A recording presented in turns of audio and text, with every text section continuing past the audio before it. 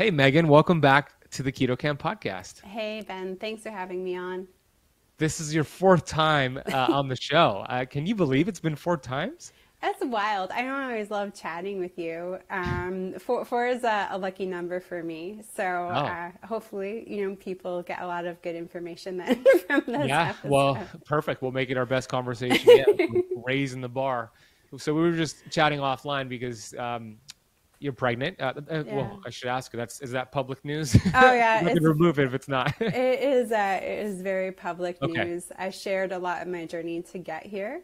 Yeah. Um. So we we didn't feel so you know nice keeping it to ourselves, and also people were asking me nonstop. So we just kind of ripped off the band-aid and let everyone know so we could talk about it. So share that journey. I know that it's been so, quite a quite a journey for you and your husband. So share that journey, what it, what, it was like, and some of the things you did, because I know there's a lot of people who are watching and listening who might have had a similar journey, or they may be on that journey that you were on. Yeah, it was really wild. You know, I met my husband at 30. We got married at 31. I wanted to live with him for a bit and have some cool adventures and thought, okay, you know, 35, 36, we'd settle down and have kids. And then I kind of got um, hit with some environmental toxin issues that I wasn't expecting. We had moved into this house. We loved this house. It had passed all of the traditional home inspections, was mold free, and you know just a healthy place to live and to bring a family into the world. We got super excited, and within several months of moving into that house, I was bedridden. I couldn't even stand up to pour a glass of water or even make a cup of tea. Um, my blood pressure was like on a good day, like 74 over like 40. It was Gosh. really awful. Yeah, they I ended up having to take steroids just to get my feet back on the ground and learn, you know, and have sort of this crash course in environmental toxins. Unfortunately, um, you know, being the person also suffering from it at the same time. Um, so that delayed things. Uh, and then, like, the pandemic happened and was just kind of made everybody's lives a little bit weird for various reasons. And during that time, um, one of the weird things that happened in my life was that we ended up just totally leaving Toronto and moving to the Bay Area. Uh, my husband's in the biotech space, so just career wise, you know, it was kind of dead end in Toronto, and, and he was eager to get back here. So moving here, changing of environments, um, you know, we had we're kind of at the standstill because of all the lockdown. We couldn't get our house properly, you know, taken care of or treated. So I'm stuck in this environment that's not well. So we um, we moved here. I focused on getting better, and then um, we decided, okay, you know, we're going to try to start a family.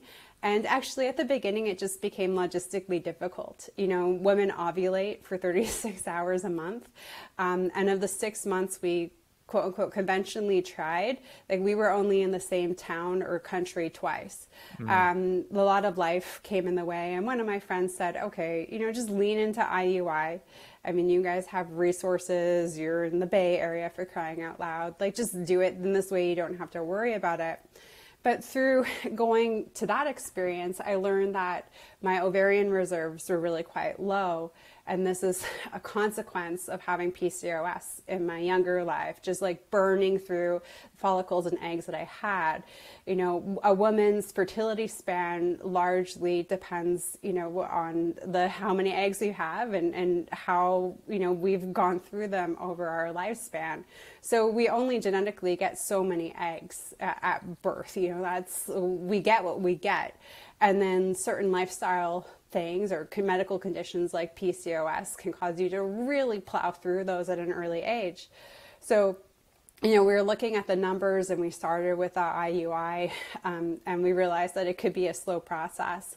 And we thought, okay, you know, like we would like to have a couple of kids and I'm not going, I'm going to be in my 40s for the next kid. And what if I don't have any ovarian reserves come that time? So, you know, a lot of people think, um, or just sort of misunderstood, like I went into IVF to um, because I was struggling with unknown infertility. That's not the case. We did it intentionally to bank embryos, so we could have options of having kids in my you know 40s if I wanted to have you know number two or number three down the road. Um, but because of my low ovarian reserves, we had to do three rounds uh, of wow. egg collections, And then, of course, the, the odds are better if you do them back to back. So I felt like I spent 2022 just being this scientific chicken in, in a lab. Um, but we, we've got our we've got our embryos. Um, we're we're pregnant. We're expecting a little boy this fall. It'll be a little turkey baby. Um, so we're we're excited for that. Uh, and then we've got a, a, few more in the freezer for for next time. oh, that's awesome! Congratulations! I'm so happy for you.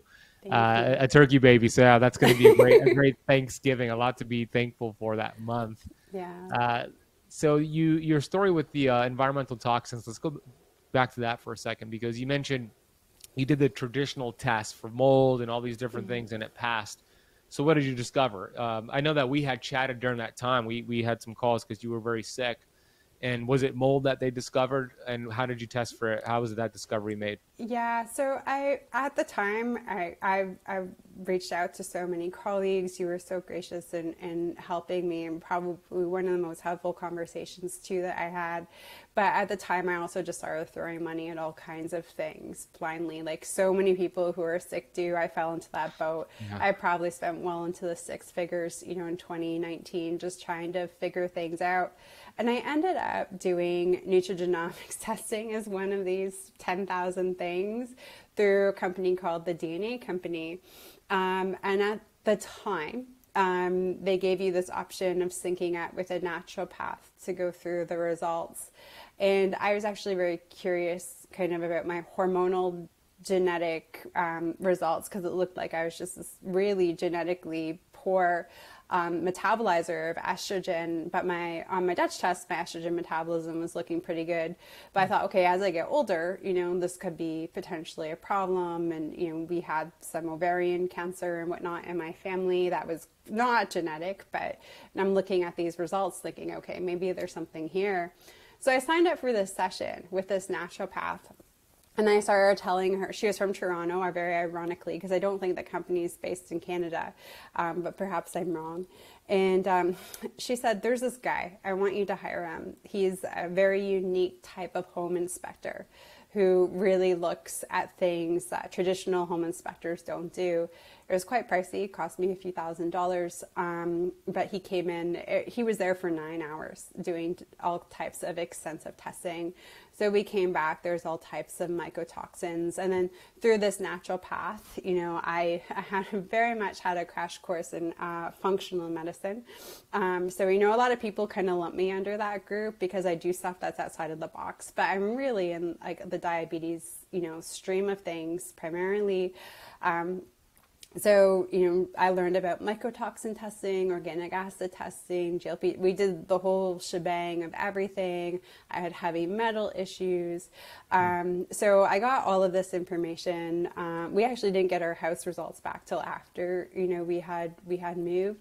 Um, but at that point my test results were back. My personal test results were back. So um, i had a pretty good indication of what the the home results were going to be.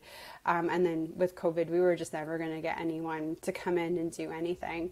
Um, so we moved here, and then I got a really great local doctor. Um, so he was a cardiologist by training. Um, suffered from mycotoxins and other type of heavy metal issues himself. Totally flipped when the integrative health route. Um, so we, you know, we repeated my testing a few months after moving because it had changed. Just being removed for the environment had changed quite a bit. Um, and then we started the whole process of, you know, detoxification. So there were certain um, supplements that he gave me, some herbal, um, you know, really focusing on things like infrared saunas. You just sweat anywhere you can, you know, mm-hmm. and just turn the heat up in your car and just sweat, sweat, sweat. Um, uh, but infrared saunas and, you know, doing all kinds of things just to help. And within about a year, I was in a much better place. My testing was all normal across the board. I felt like a totally different person. My husband felt like he had a different wife, you know, like the person that he had married versus the monster that I had kind of become. I just didn't have energy or the capacity for, for anything for a couple of years. So it was quite the quite the journey, um, and you know, just really opened my eyes about you know, we, we talk so much in sort of my world, the fasting method, about nutrition and food quality and all that type of stuff. But really, like the, your whole environment around you. Um, and I remember us having a specific question, and you knowing at the time that I did want to be a mom, and just hang out, you know, get better um, because you'll have a much healthier kid, you know, when you're closer to 40 than you would right now. And I remember you saying that and just like giving me a lot of confidence that, okay, you know, like I'm doing the right thing, but I couldn't have even sustained life even if I tried. I think at that point I was so sick.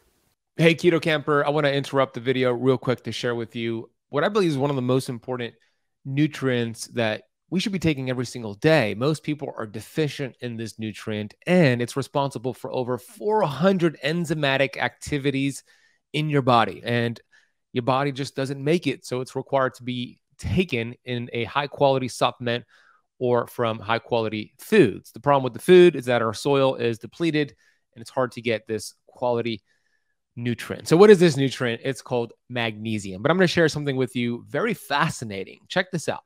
Upgraded Formulas has this incredible product called Upgraded Magnesium. And Barton Scott, the developer of this product and company, he's a brilliant guy. He created nanoparticle magnesium, which has the ability to penetrate your membranes and go right into your cells. There's a 99.99 percentage absorption rate. Now, this is unheard of because with other magnesium products, you better believe it's not that high.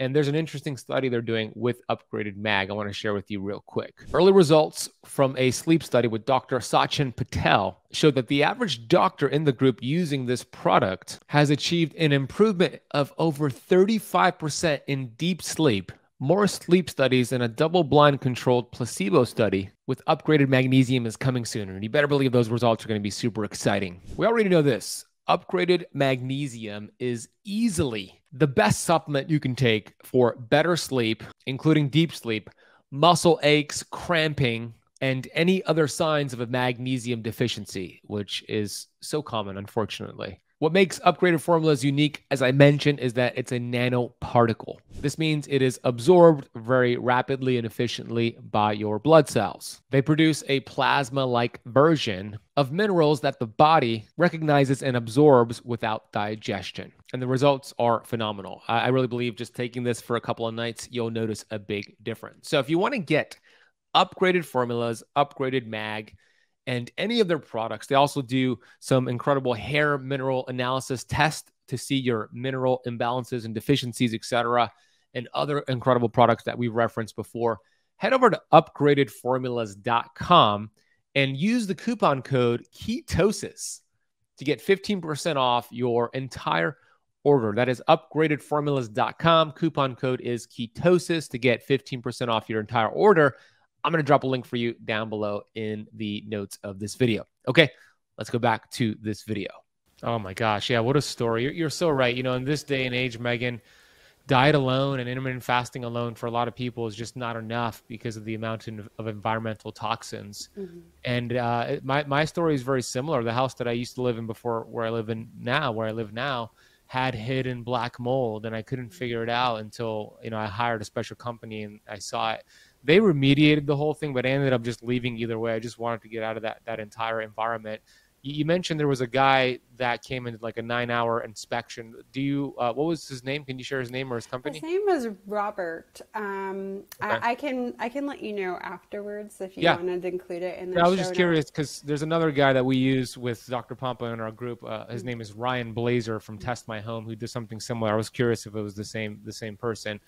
Uh, but yeah, what you did is so important because we we pass on these toxins, environmental toxins, especially heavy metals, to kids. I mean, that's mm-hmm. the number one exposure to lead is is from mom, right? So the yeah. fact that you cleared a lot of this out was so important for your your baby boy that's about to get born into this world. So you did. I know it took some time to get there, but it was it was so worth it. I'm so glad you're feeling better too. It's like mold is such a nasty. Mycotoxins are just so they disrupt your metabolism. They disrupt your mitochondria I always tell people if you feel like you're doing everything right and you don't feel well, think mold, right? Would you agree to that? Yeah, absolutely. I see it so much now in people that we work with in our community and just trying to encourage them. Um, finally, one of our community members, she just did the, the mycotoxin testing through Great Plains um, after a couple of years of me badgering her. And of course, you know, mm-hmm. the whole the whole test did not look so good. So now they're getting their home remediated.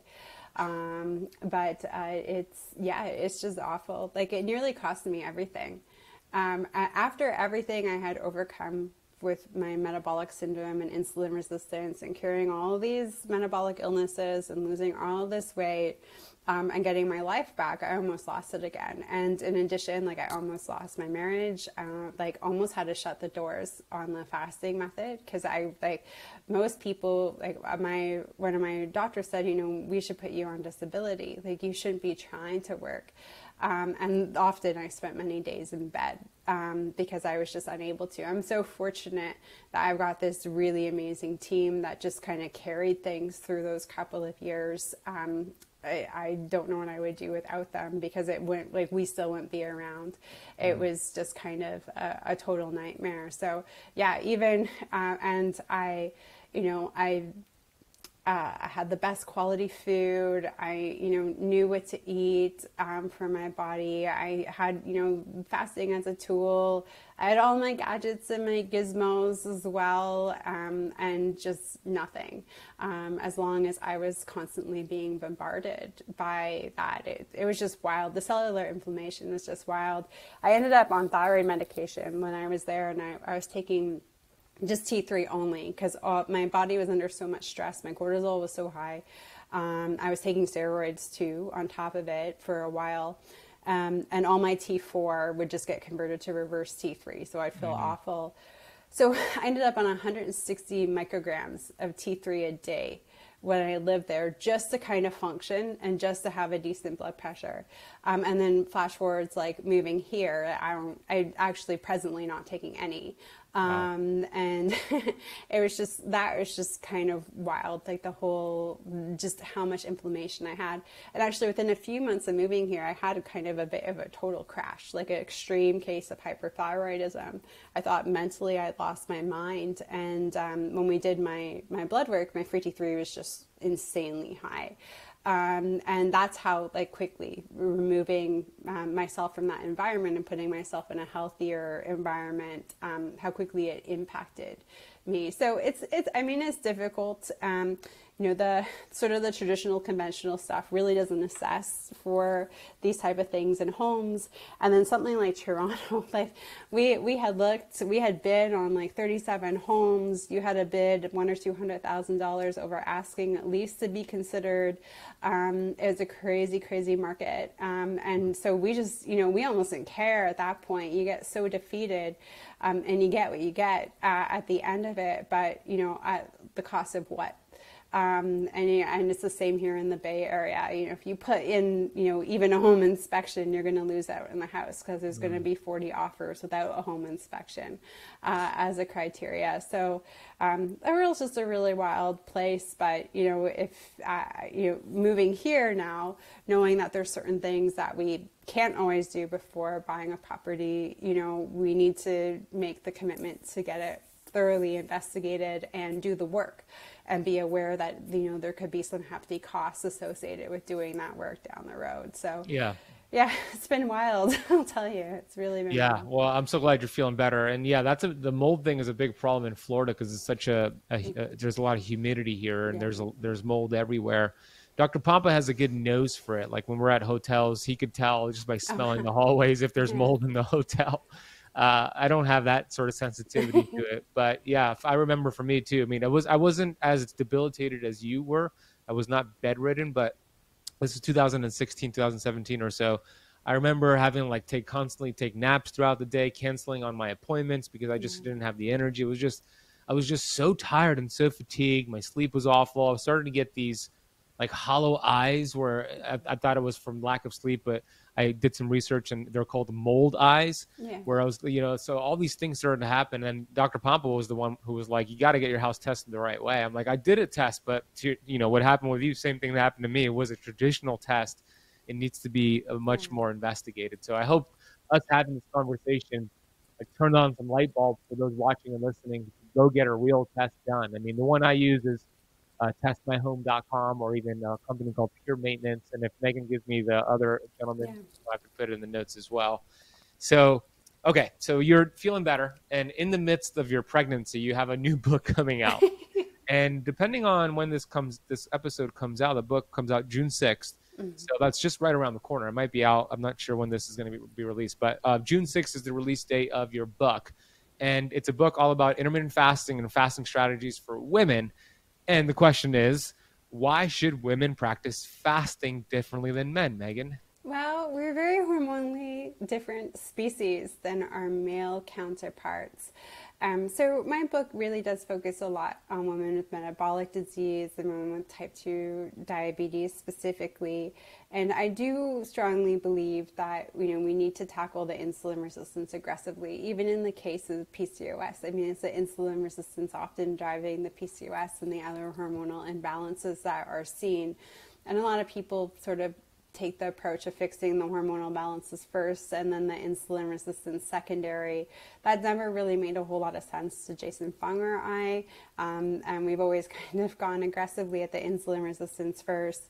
Um, but uh, you, we, the the bottom line though is that we are very hormonally different at every stage of our our lives. Uh, you know, from from birth, you know, especially through adolescence, early adulthood, um, childbearing years, after childbearing years.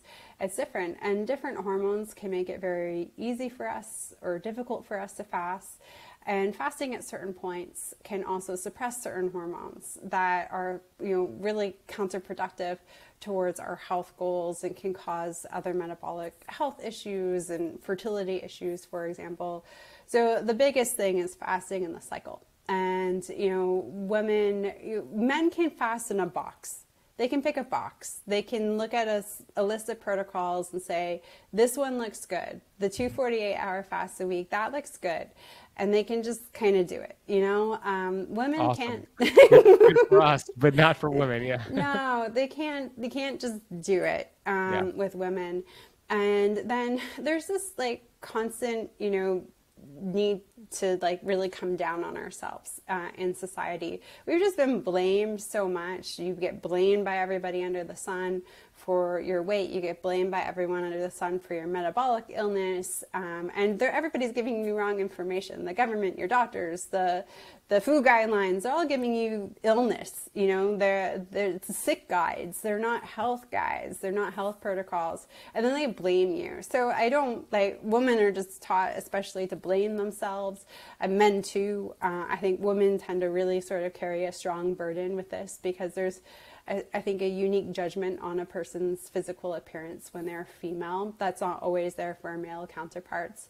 So women you know see men doing this and they read about a protocol in the book um, on 342 hour fast or alternate daily fasting for example i'm going to do that but then sometimes it's so hard for them to do and they think something's wrong or broken with them or sometimes they actually feel worse or start to experience other hormonal complications and then they get scared of fasting. It's like, well, you shouldn't do that either.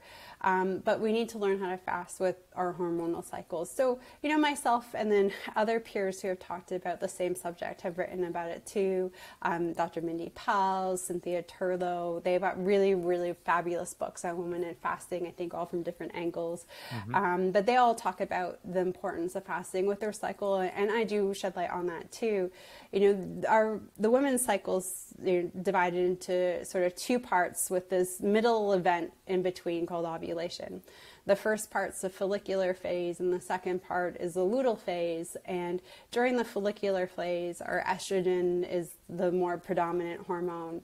Estrogen can make us feel pretty good in the right volume dosage. Um, it can make us feel pretty good. It can also suppress our appetites.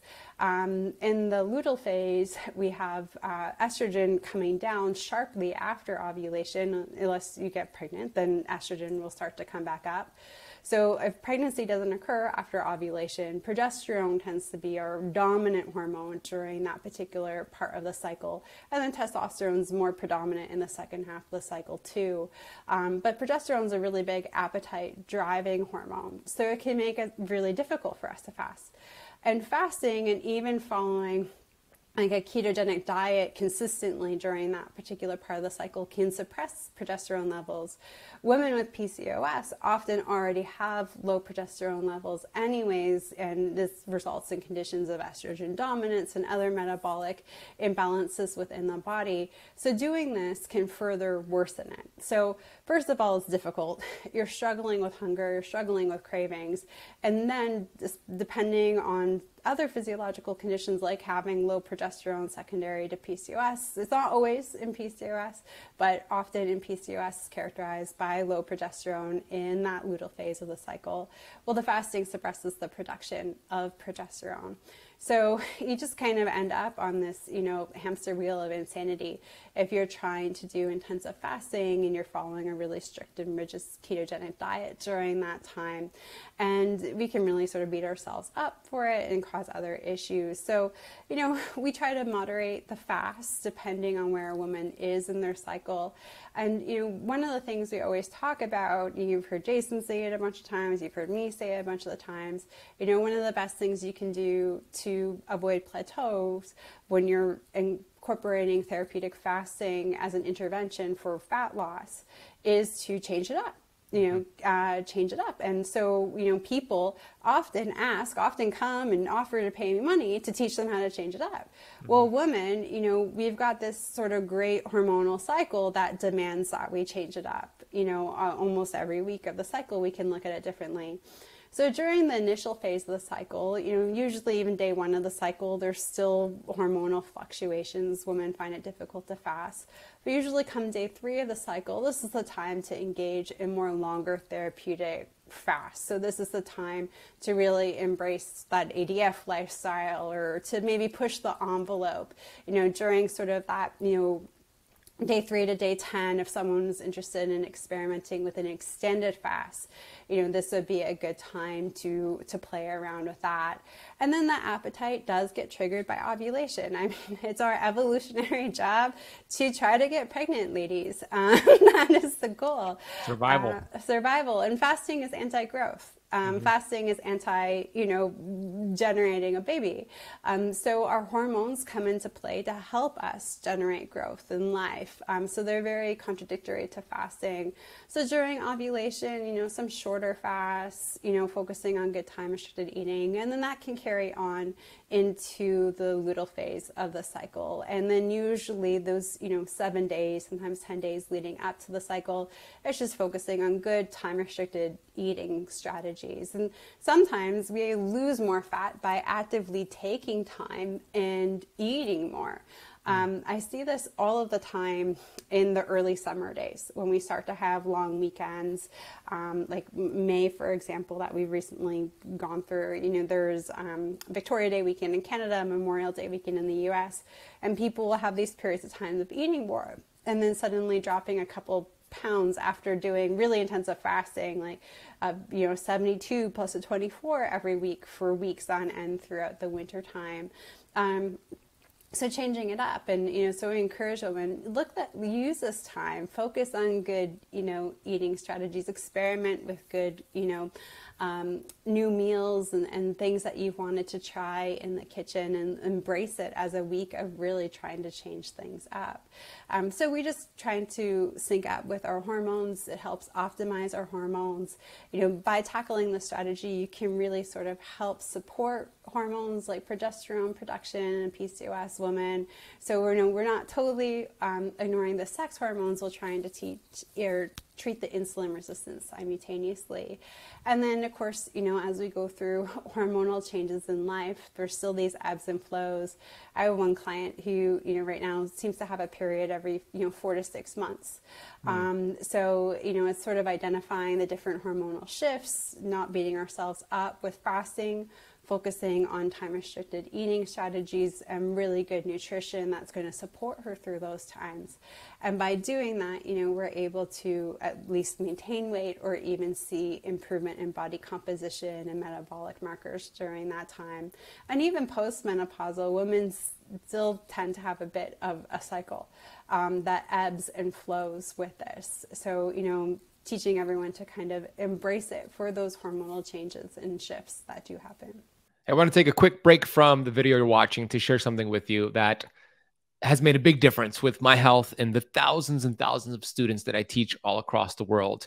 Now, this is a unique device that has been shown to help with skin health, sore muscles, wrinkles, psoriasis, eczema, scoliosis, migraines, sleep issues, arthritis, acne, scar tissue, wound healing, relaxation, and also boost testosterone levels. What am I talking about? What is this miracle drug? Well, it's not a miracle drug, it's red light therapy. As you can see here, this is called photobiomodulation. And I use this red light therapy device every single day. Not only do I use it, my fiance uses it, our dogs and cats love it. And the device I have here is from Bon Charge. Bon Charge has a different range of big panels, small panels, from affordable to ones that are a little bit more money, depending on how much you want. And I love this product. I feel so good. And it doesn't take a lot of time to get all these benefits. I simply take off my glasses, which is Bon Charge glasses, by the way, turn it on, and I have it running for 20 minutes once a day.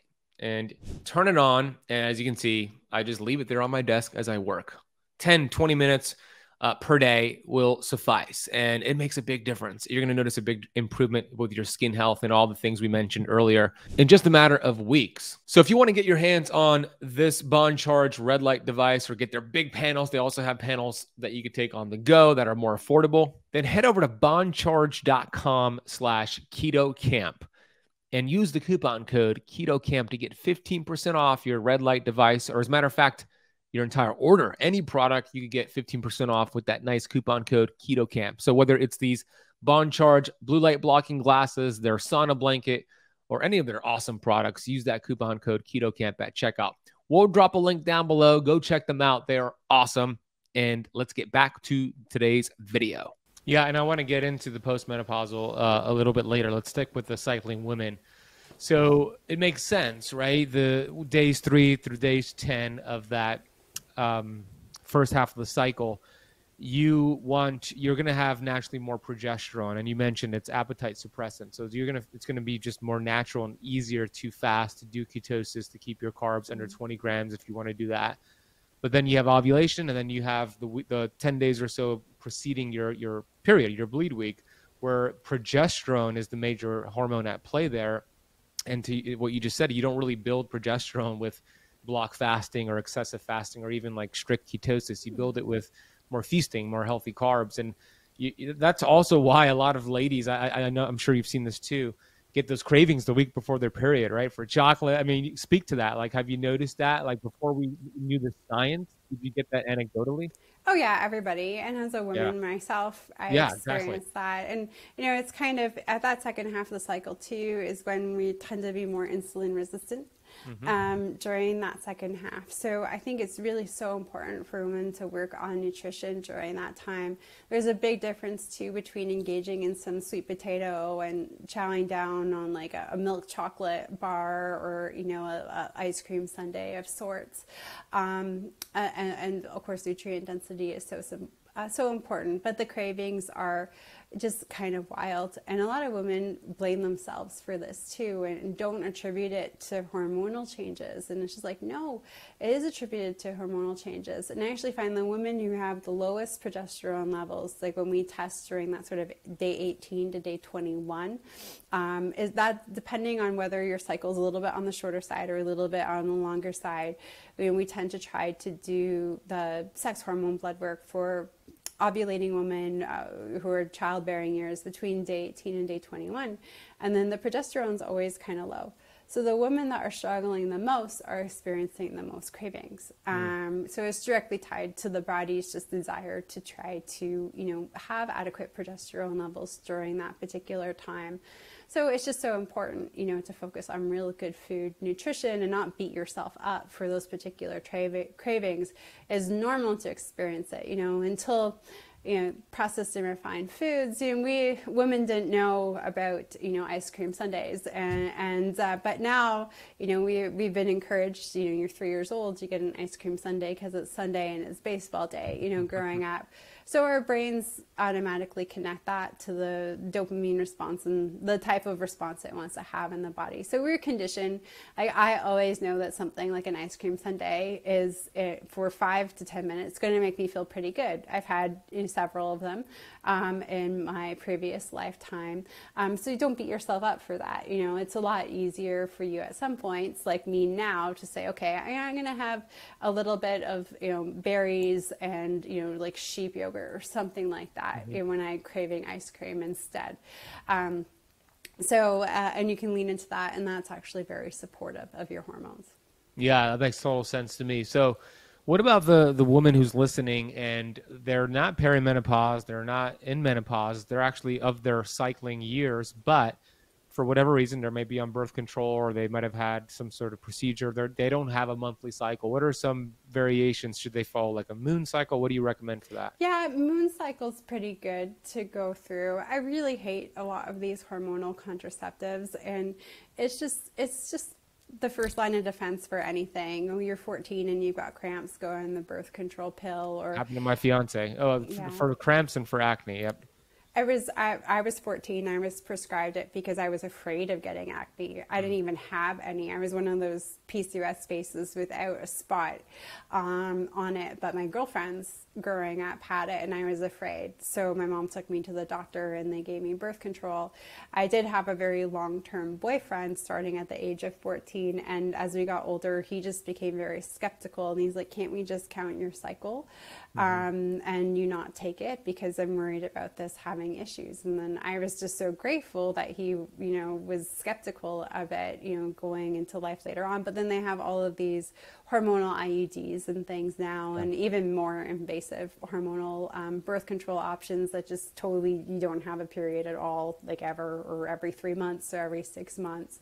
I hear some of my girlfriends, you know, talking about. Um, so you can use the moon cycle to sometimes with women, it will just go. Uh, I'm working with this one young woman now, and just really just going with her hormones and, and, what she feels. If fasting feels easy, we turn up the dial. I like that. Yeah. If it doesn't feel easy, we turn it down the dial. This particular young woman, she does her hormonal birth control. She does occasionally have mm. cycles a few times a year. Um, so we just turn it up, we turn it down, we focus on the nutritional aspects of things, um, and just listen to how she's feeling. And I think because she's so young, actually, she's in her 20s, um, there isn't that sort of long term history. Like she wasn't told to diet at eight or nine years old. When she was eight or nine, it, you couldn't talk to kids about their weight like at all. Not kind of like how my grandparents grew up. My grandmother, you know, was ridiculed if she was a pound overweight, you know, hmm. even mm. if she was a child. Um, so this generation is a little. I was never ridiculed, you know, whether I weighed too much. People actually complained that I weight I was too skinny for a lot of my childhood. Um, so she never really had a whole lot of hangups over it other than her own, you know, desire to be a certain size or to look a certain way as she started to get older. So she's really cool. Like she doesn't beat herself up over it. She's like, okay, you know, uh, it's really feeling impossible right now. So it could be hash, like could be how she's related due to some things. I mean, she's young and living life as a young um, young, young person, so the nutrition's not always 100% all of the time.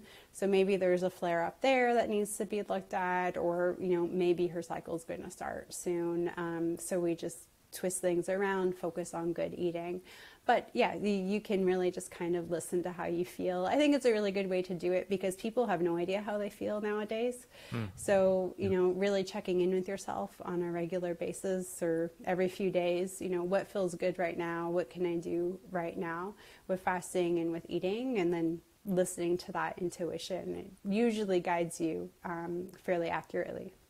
Yeah, I, I love that advice. Probably that's probably the moon cycle advice is great too, but probably like listening to your body is, is better because so many people don't. Right, the body's always giving us communication through symptoms, which people view as a bad thing, but it's a really good thing.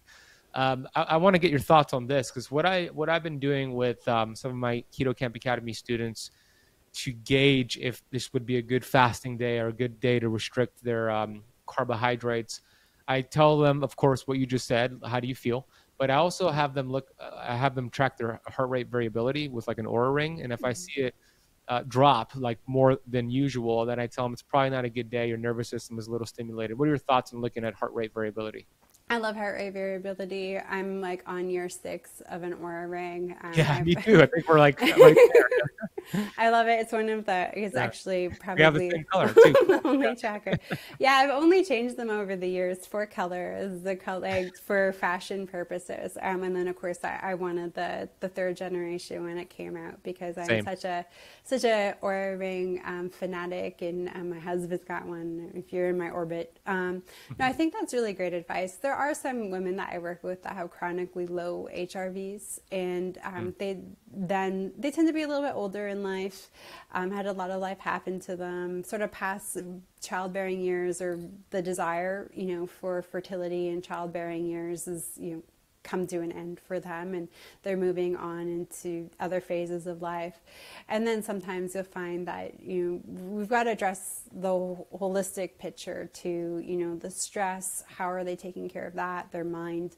Um, you know, the, we, we're actually talking a lot now about the art of eating rather than what you eat, but like how you eat um, and the mm-hmm. digestive mm-hmm. response to that. So, you know, we work on that, making sure they've got a designated eating area that, you know, they're not even scrolling through Instagram looking at puppies. They are just yeah. really there, present with their food, maybe listening to nice music in the background um, but really focusing on addressing you know stress in that aspect when it comes to around eating trying to change meal timing to eating that bigger meal earlier on in the day you know maybe not having dinner or having a lighter dinner um, what we would typically have in north america for lunch like having that at, at the dinner hour instead. Um, and then, you know, if we can see some improvement in sleep quality, then trying to do some longer fasts. But we got a lot of these people that chronically, their HRVs are just chronically like what do you like 15 in, all the time. Oh, okay, I was going to ask. So, like in the teens, you see, mm-hmm. yeah, that's pretty low. Yeah, um, I've seen that too with with a few of, of my students. Uh, yeah, that's for them. You know, they would really have to pay attention to how they feel. You know, the the Oura ring is fantastic. I love it just like you. My fiance has it too, and a lot of my students, I, I suggest they get it because it helps us as coaches kind of view what's going on. But I also think it's important to pay attention to how you feel, right? I don't want my Oura ring to tell me I'm going to have a bad day. I'm not going to be energized today. So there's like kind of like a double edged sword with it because sometimes I'll wake up and I'm like, man, I feel really refreshed. What are my scores? And I'm so excited to see my scores in the morning. And it's like 72, you know, rest day. I'm like, wait a minute, but I feel so good. So how do you how do you interpret that or teach that to your clients? It has to be about curiosity, looking mm-hmm. at it with curiosity and not judgment. These numbers aren't reflective of everything. It's the same thing with people that are becoming healthy and are fasting um, regularly and increasing their activity, seeing the number on the scale not change, but their pants falling off. Don't True. get defeated by that number on the scale. Look at it curi- curiously how are my clothes fitting? Oh, my clothes are falling off. Oh, I must be losing body fat, but also gaining lean mass now that I'm being so much more active, that I'm feeling better. Um, it's the same thing with continuous glucose monitors. I don't know if I love them or I hate them at this present moment because um, so fortunately, like they've become very accessible to everybody in yeah. the United States. Um, they're certainly a lot more economical. You don't need to have you know, diabetes now to get mm-hmm. one. Um, so, you know, really grateful for those opportunities. Um, and then, so, but now everyone has one and they watch them as hawks. And then, like, what's going on? What's wrong? You know, I had a woman who was in the fast the other day and went and had like this killer weight training session, but her glucose went up a bit. Yeah. And she totally freaked out. So, yeah. you know, that that ha- that is going to be what Good happens. thing. I mean, that's supposed to happen during a, a session happen. like that. Yeah. So, com I actually had one client with a Dexcom and I recently had to tell her you need to take it off mm. because you're giving yourself worse than diabetes by watching it all of the time. She was hysterical about it. And we talked about it and and so she cut it off and now her like her morning blood sugar levels which were in the 160s are now in the 110s. Um, wow. So, and just like cutting it off for like a month. Um, so, the, this constant data, if we're looking at it with a lot of judgment and letting it sort of dictate and rule, you know, how we're governing and functioning in our lives entirely, um, I think it can present more stress than be positive. I always, you know, especially now when I'm pregnant, my Oura ring data is super weird. Um, oh, and sure. uh, there was there was actually a time, and I had an embryo transfer.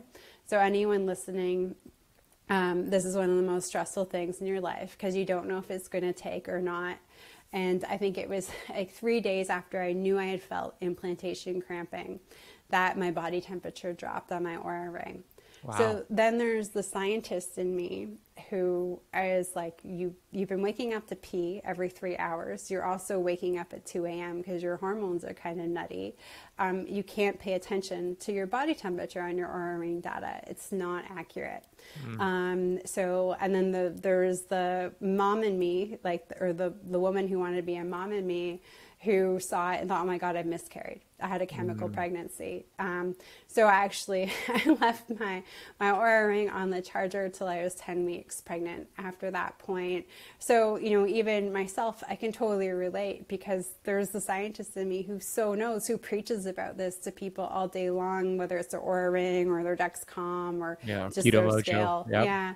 Um, look at it with curiosity, but sometimes there's a time and a place to park it and just really check in on yourself. And during those 10 weeks, you know, I felt all of the right things and normal things and some of the unpleasant things that a, a woman experiences in, in early pregnancy. And um, it was just really nice to tune into my body and really just experience and live it the good, the bad, the ugly that happens in the first trimester with, with those things and, you know, not perhaps always let data. So there's a time and a place to look at the data and use it as a tool. I think that's super cool. You know, like Jason will often say, um, with some people, you know, well, eat when your glucose is a certain level and avoid eating when your glucose is another level. And for some people, they can use that loosely as a guide to help them navigate when they fast and when they eat or the times a day that they might eat versus you know not eat if they're a type 2 diabetic um, but there's also a time and a place to just say okay this is what it is but you know this is how i feel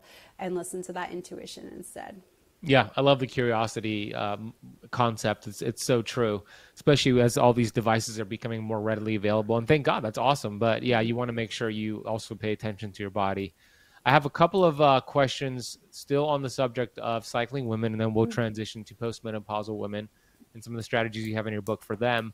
So the moon cycle, if you could just, I, mean, I know somebody's listening and watching, they're like, they didn't explain the moon cycle, and I, I would hate if we went through it and we didn't give the how to do that. So for those who want to follow the moon cycle, could you just give them a general guide for that? I would have to like reference my own book to look it up. I do not know it off my ass. I usually tell people to go by the way that they're feeling, but they okay. did make me talk about it in the book. So. Oh, they did? Your, your uh, publisher did? Yeah.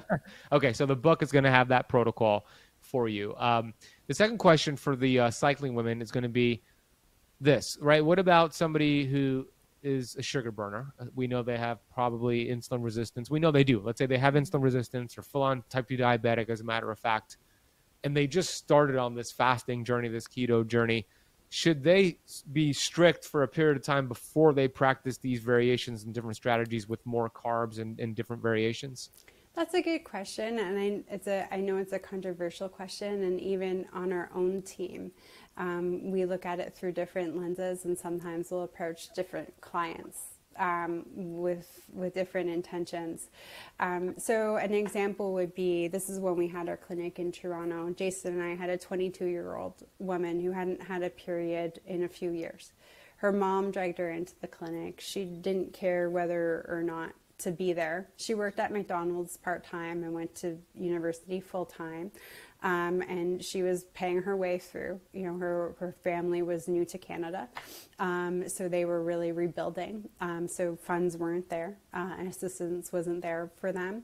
Um, and so she was not. She this she uh, admittedly was not thinking past like the next weekend of events in her life, and didn't know if she wanted kids at all in her life. Um, and her mom's like, Well, you might, when you're 30 or 35, change your mind. So we need to fix this now before it becomes problematic. Um, but her insulin resistance was just awful.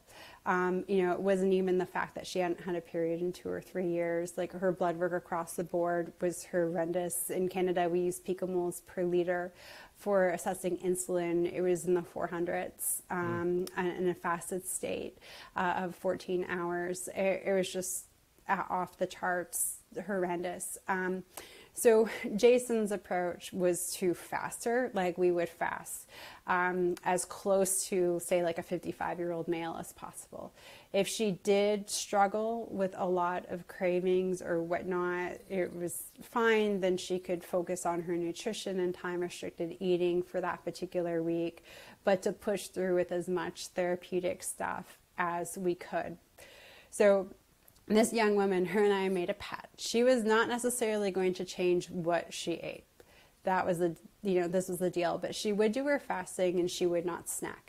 She would eat at certain times in the day and she would cut it off, including alcohol consumption at a certain point.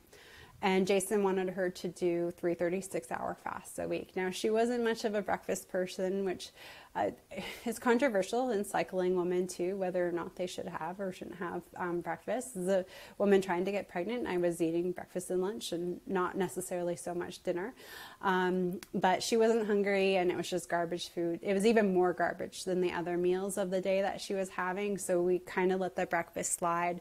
So she fell into more of the 42s. Um, so this is the compromise no snacking, no late night eating or drinking, and she would do her fast. She did it. She actually didn't struggle that much, um, you know, at, at any point um, at all with it. And six months later, she had her first period. Wow. Um, and then we carried on with that strategy, like the very aggressive insulin resistant, you know, type 2 diabetes fasting approach. Um, we carried on for about another three months, but she kept having consistent periods. So then we had three periods that were happening within, you know, 25 to 35 days. There, you know, she was typically in the early 30s, the lengths of her cycle. And at that point, we shifted things around once they started to become more consistent. Um, I'll say she's in her late 20s today. She follows an excellent diet. She's super healthy um, woman and, and is really excited she has this opportunity to be a mom her AMH is looking good, so that gives us an indication. It's a, one of the few markers you have to look at for assessing ovarian reserves.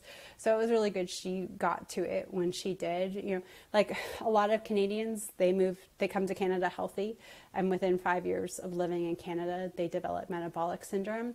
So fortunately, you know, prior to her immigration, she was in, in fairly good health. She hadn't been tainted by the Western diet so much, and to that point. So she had severe PCOS, um, absolutely, um, but it was kind of isolated, and she was able to um, really like she's she's doing fabulous. Um, awesome. We still keep in touch, so we have definitely treated very sick. Uh, her A1C was in the the diabetic range. I think it was six point seven. So we're I'm not talking nine point seven, but um, we have sort of treated the diabetes first uh, in yeah. some of these women. Makes sense. Yeah. So that I mean, of course, there's no simple answers to that question, right? So it's always going to be dependent on that unique person in front of you. So that's that's a good story to share because we got to understand when when the viewers are when the readers are reading your book, it's like you're giving them the protocols, then you got to apply it to your unique his, health history.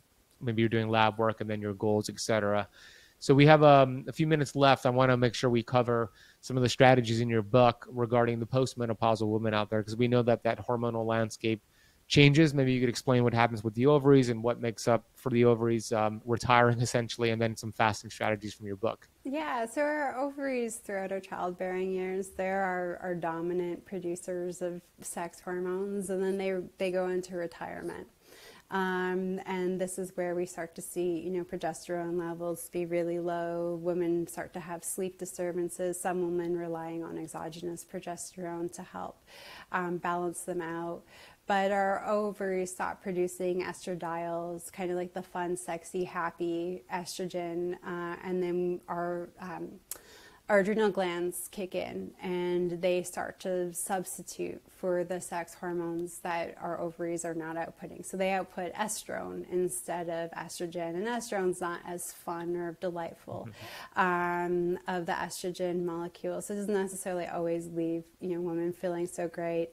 Um, so we get these sort of shifts from the ovaries going out of business um, or, or going to sleep to then shifts in the adrenal glands. And then today's day and age, with all the chronic stress mm-hmm. that we have, the adrenal glands are already pretty taxed as it is.